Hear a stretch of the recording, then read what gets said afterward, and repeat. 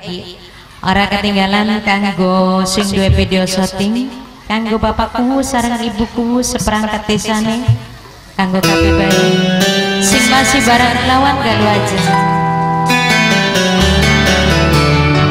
Kanggo sing duwe wilayah Gusti Kebon kabeh bayi